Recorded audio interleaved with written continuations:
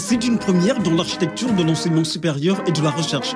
La trouvaille est exceptionnelle dans un écosystème qui met en lumière les réalisations et pas de géants accomplies par le président de la République Macky Sall. Et les étudiants sont les premiers à exprimer toute leur gratitude et fierté au chef de l'État. Le mot ne serait pas de trop pour parler d'une véritable révolution dans le secteur de l'enseignement supérieur, de la recherche et de l'innovation. L'UAM, cette infrastructure de dernière génération que vous avez bâtie pour la jeunesse du Sénégal, constitue le symbole vivant de cette révolution. C'est pour cette raison que nous sommes très fiers de vous. Excellence, vous êtes le bâtisseur de ce Sénégal pour tous. Dans l'univers estudiantin, le président Macky Sall vient donc de recevoir un hommage vibrant. Quoi de plus fabuleux que ce sentiment de fierté exprimé par les étudiants de l'université Amadou Baktarbo de Diamniadio. Au même moment, le patron de l'IRSF, l'éminent professeur Souleymane Boup, touche du doigt les avancées remarquables à l'actif du président Macky Sall.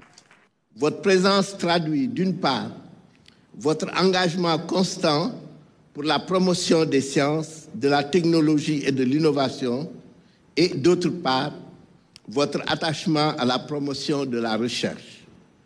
L'institution du prix Macky Sall du CAMES pour la recherche en est une parfaite illustration. Le prix Macky Sall pour la recherche fait ressortir la grandeur d'une œuvre majestueuse réalisée par le président Macky Sall. Une œuvre saluée par le directeur général de l'Agence internationale de l'énergie atomique qui, dans un message vidéo, a mis le curseur sur l'action décisive du président Macky Sall dans la promotion de la recherche et de l'innovation. Le secrétaire général du CAMES abonde également dans le même sens.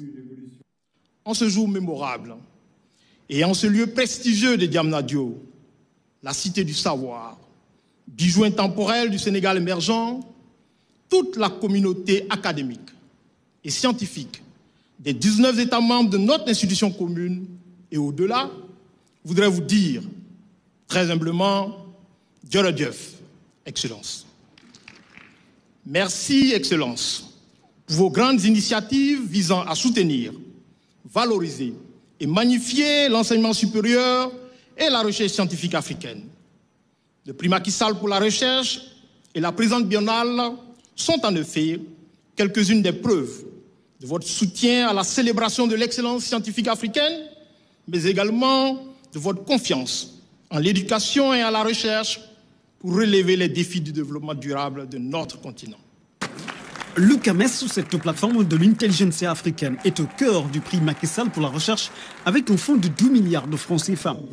Également 100 millions de francs mis sur la table pour les récipiendaires chaque année. Et pour cette présente édition, trois lauréats sont à l'honneur. Honneur à la science, à la recherche et à l'innovation. Le président Macky Sall entre dans l'histoire. C'est la troisième édition du prix Macky Sall pour la recherche.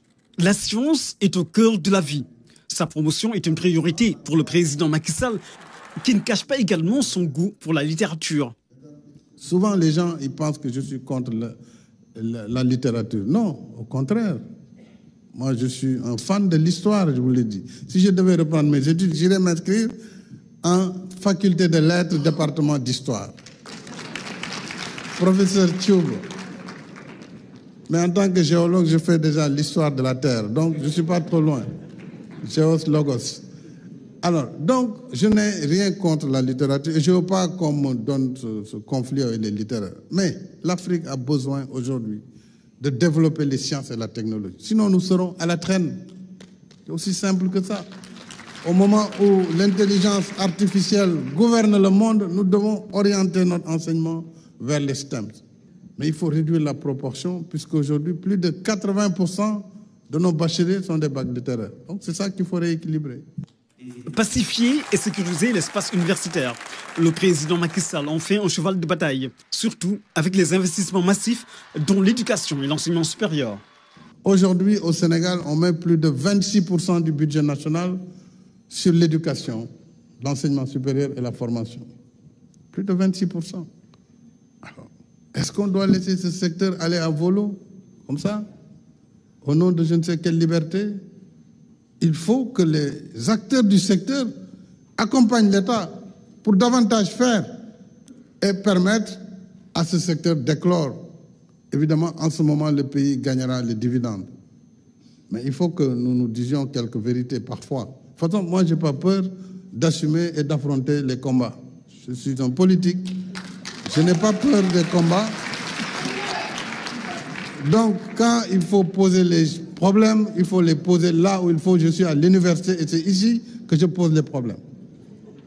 Quand il s'est agi de donner des moyens pour les enseignants du supérieur, nous l'avons fait, comme jamais auparavant. D'agir sur la retraite des enseignants, je l'ai fait, sans calcul.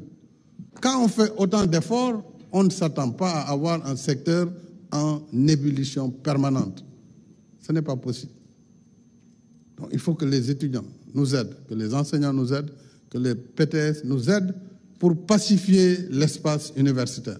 Ce n'est pas un espace de gladiateurs, c'est un espace de réflexion, un espace de sagesse.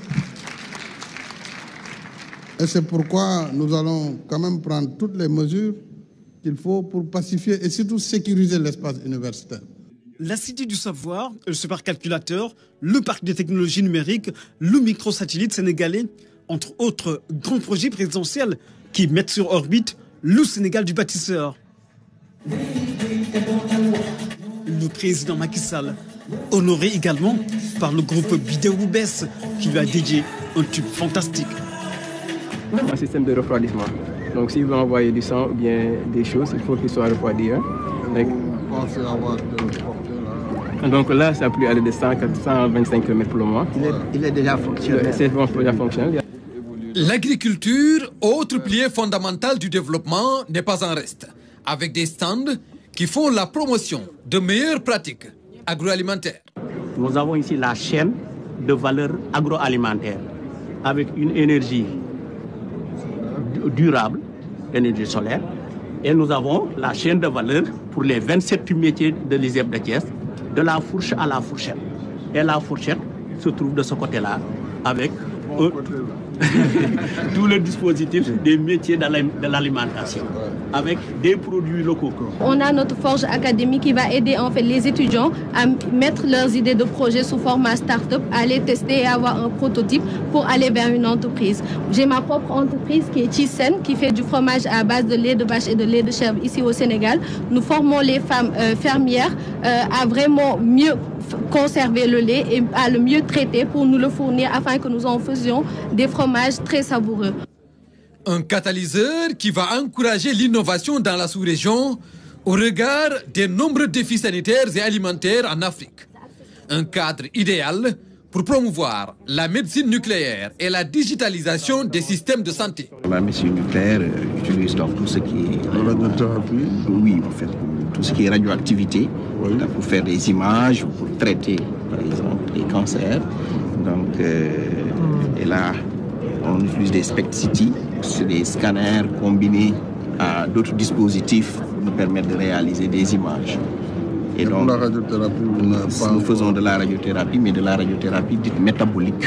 C'est-à-dire que nous, nous administrons directement les substances radioactives à l'intérieur de l'organisme au lieu que la source de rayonnement soit à l'extérieur. Nous avons commencé les activités euh, en scintigraphie, euh, en thérapeutique. Voilà, nous avons une grande vision, vision qu'on appelle énergie, avec l'engagement pour l'excellence, le noyau de la médecine nucléaire en Côte d'Ivoire.